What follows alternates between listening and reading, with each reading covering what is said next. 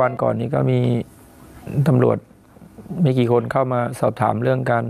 การเป็นอยู่แค่นั้นเองครับครับเอ่อขอโทษลุงพลพอดีผมได้ยินข่าวมาเรื่องหนึงช่วยกันนะถืฮะอของขึ้นมาแล้วเขาถามลุงพลว่าลุงพลเป็นไงเอ่อหนักไหมเหนื่อยไหมลุงพลตอบไปว่าไงจำได้ไหมก็ก็ไม่เหนื่อยครับ ลุงพลตอบไปว่าไม่เหนื่อยครับ ไม่เหนื่อยแบกน้องชมพู่เบากว่านี้อีกก็ ก็ก็ไม่เคยพูดนะเพราะว่าผมไม่เคยพูดนะว่าแบกน้องจะพูดเบากว่านี้นะก็ไม่เคยพูด ไม่เคยพูดใช่ไหมครับ ครับ แต่ว่าเขามีคนได้ยินกันหลายคนเลยนะ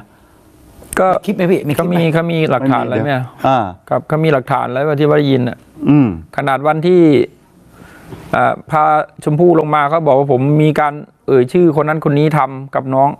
ฆ่าน้องชมพู่อย่างนี้ ผมบอกมีหลักฐานหรือเปล่า อืม ว่าผมพูดตอนไหน อืม รู้ไหมผมเดินใครเดินนำหน้าผม อืมคนที่เดินนำหน้าผมมีใครบ้าง เดินนำข้างหลังผมก็ยังจำได้เลยว่าใครบ้าง แล้วคนไหนเป็นคนพูดใส่ผม อืมคนที่มาพูดกล่าวหาผมน่ะอืมผมบอกให้ไปเอาพยานมาเลย คนที่พูดใส่ร้ายผมน่ะอืมชื่ออะไร อืมที่หาว่าผมไปเอ่ยชื่อเขาน่ะ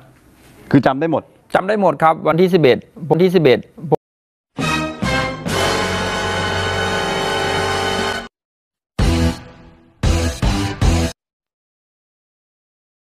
ผมบอกว่าคนที่เดินข้างหน้าผมน่ะผมจำได้เลยว่า เราเดินลงมาเนี่ย เราไม่ได้คุยกันแม้แต่คำเดียว ครับ เพราะต่างคนต่างเดินลงมา ที่ลงมาเจอชาวบ้านสี่โมงเนี่ยขึ้นเขาไปหรือเปล่า ป้าส้มโอก็ให้รูปนี้มาบอกนี่คือภาพของกลุ่มผู้ชายที่เขาขึ้นเขา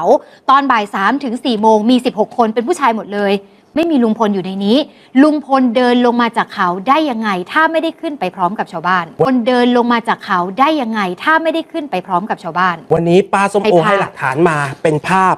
ทั้งหมดนี้อะก็ไม่เป็นไรฮะ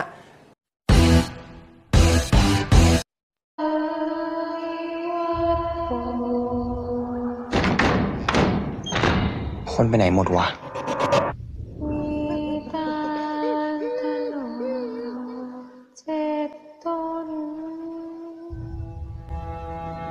พี่รู้ไหม ฉันออกไปรอพี่ที่ท่าน้ำทุกวันเลยนะ